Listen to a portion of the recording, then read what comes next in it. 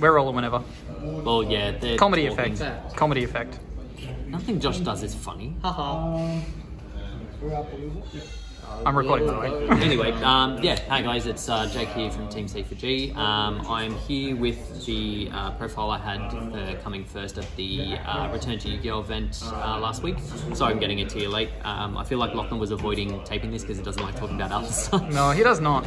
no, he does not enjoy talking about my decks. Um, okay, so yeah, um, I played uh, four rounds of Swiss uh, that went to a top eight cut um, and ended up winning. Uh, we'll talk about the matchups in a minute, but yeah, I played uh, Invoked Dogmatika. Uh, so let's go through it. We are, of course, here live at locals, so if you hear Josh freak out, ignore him.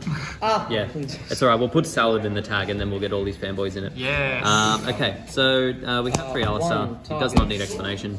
Uh, we have three Ecclesia. Someone the other day, when Lachlan was doing his howling list, when he's like, Dynamis howling, needs no explanation. I had someone actually be like, I needed an explanation, and I was like, okay. Look it up and read it. Like, yeah.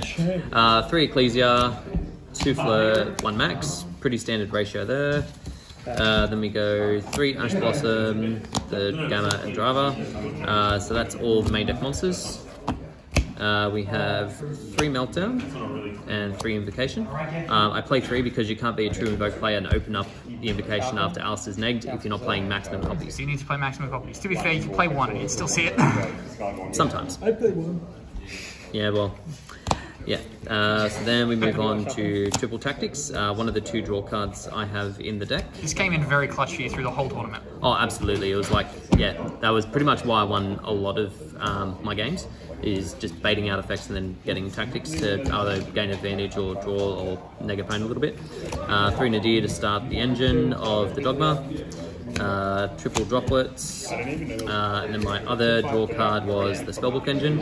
Um, I find the Spellbook Engine better in this deck as opposed to, uh, say, Pot of Desires or Pot of um, Extravagant. No, not Extravagance, the other uh, Prosperity. Uh, for a few reasons. A, Pot of Prosperity is very expensive. Um, Two, it takes stuff out of your extra deck, which in this deck is a problem. You want as much stuff in your extra deck as possible for your Dogma plays. And then three, um, yeah, this clears the board if you're doing standard plays. You summon this thing, use that, get rid of that. Yeah. And if someone has a specific hand trap that they want to wait until you invocation, It turns on your Gamma. It leaves Gamma live. Yeah. Also, like, the value, out getting extra value out of that Link 1 is so clutch. oh, 100%. It's like, not only having a Link 1 for the Aleister to go into, but then, like, the knowledge to just be like, and now I'm going to draw two cards. Yeah, absolutely. Um, and then the other thing is too, if you do happen to have a shitty hand and you have these two as well, you can just use that, pitch that, and One draw anyway. other, yeah. Yeah. Uh, and then the last spells for the deck, we got one call by, one duster, and one terror. Um, I have thought about bumping up the spell and trap removal just because spell and trap back row is pretty prevalent, but I've got that in the side. Josh just waved as if he was on camera. To be like, yeah, he's doing it for me. Idiot. Pretty much. Uh, then we've got three imperm, one schism, and one I've seen the punishment. beer roll deck. again, fairly standard. A lot of people are playing two of that. I usually don't need like it. Kind of wins more if you have two, and like you just recycle it if you need it. Yeah. Uh, and then the extra deck, so the aforementioned Artemis. Uh, then we go invoked cards. We got three Mechaba, one Augoeides, and one Purgatrio. Purgatrio is a game ender. If people leave their board open and you just summon Purgatrio, you kill them. Uh, then we've got uh, the Shaddoll package, so one Apkallone, one Construct, one Winda. Um, again, fairly self-explanatory there. Uh, we've got the random fusions, Titaniklad, Entus, and uh, Five Head Dragon.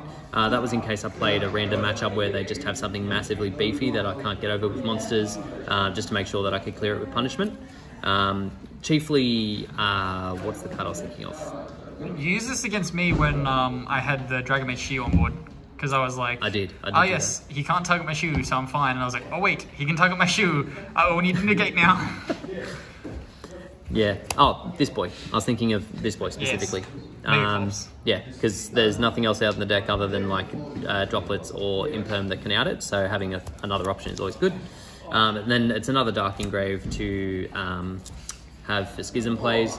And you can banish it off all readies to have a 7,000 attack monster. We did consider switching that for Dragon Master Knight to give you a light for Mechaba as well, so that's something to keep in mind. Exactly, yeah. The, if you feel that you're not getting enough lights in this deck, which I honestly don't know how, be, yeah. like you should be getting plenty of lights. Um, that is an option, but I prefer that one because getting Darks Engrave uh, for Schism seems better than anything else. Yeah. Uh, and then lastly, we have Omega, Wind Pegasus, and the only other link in the deck, which is the BLS link. Soon to be Ghost, Soon maybe. to be Ghost Rare. Um, Any important side cards?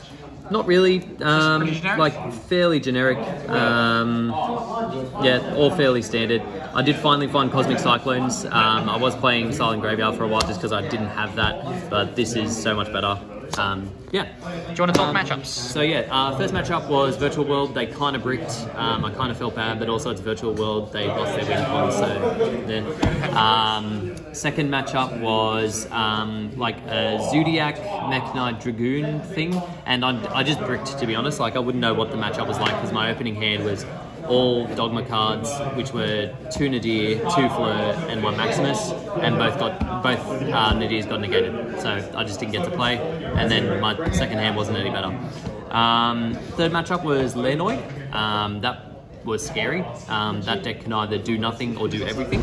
Uh, this time it did nothing, which is awesome. Um, and then game four was Mystic Mine, um, and that's where the Cosmics came in because obviously Silent Graveyard doesn't do enough to them. So um, I think the main way I won both times was oh, game one. I think I won the die roll, so I just set up the carve up and just waited to be able to make something important. Um, and then game two, it was starting in Cosmic, and then when he activated Field Barrier, I just Cosmic, Oh, get rid of it, and that's the game. Um, First round of top eight was essentially the same matchup. yeah, kind of. So, as Lachlan alluded to in his video, my first matchup in top eight was against him. Um, and he's right to an extent in that my knowledge of the deck was the thing that won more so than my actual deck. Because having versed Lachlan a lot, I know how to play around that particular playstyle. Um, and then I think game three, he didn't open that well either. So, that's always the thing. Um, the second match in top cut was you. Yep, sadly. And yeah, you again didn't open all that well. Game one opened was very well. Yeah, game one was very grindy. There was a little back and forth, but then like that, like that deck tends to do, it just snowballed and I couldn't get over it. Um, then games two and three, you just yeah, open garbage. I was playing Dragon Maid. Yeah, you were playing Dragon Maid.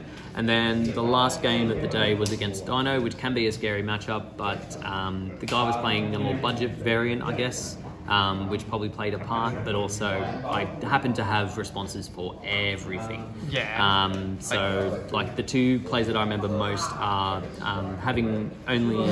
He had a baby, because he's played the turn before was trying summon baby, summon token, and then do that play, but I had the Cosmic for the field spell. Yeah. Um, so I punishment the baby, um, sent Titaniklad. He tries to activate baby. I chain call by to negate it, and then I tactics to draw two just to get me back into the play. Yeah. Uh, I don't think I'll draw anything off it to be fair. Or I might have drawn an Aleister, but like being locked out of the extract, I didn't see the point in summoning it. Yeah. Um, and then Titaniklad Search. And then I think either in that same game or the game after, um, he had just an Oviraptor and UCT on board, and I had two Fleur de Lis and a um, Ecclesia on board. This And- was also on like turn nine. Yeah, like it, it had gone a while. Every Um, response, he, he was struggling to find responses, and everything he found, you just got rid of. And then eventually he was like, Well, I'm just going to have to UCT away my entire hand. Yeah, pretty much. Um, and then yeah, so the one of the fleur de lis had already um, gone up to thirty, uh, three k, three k.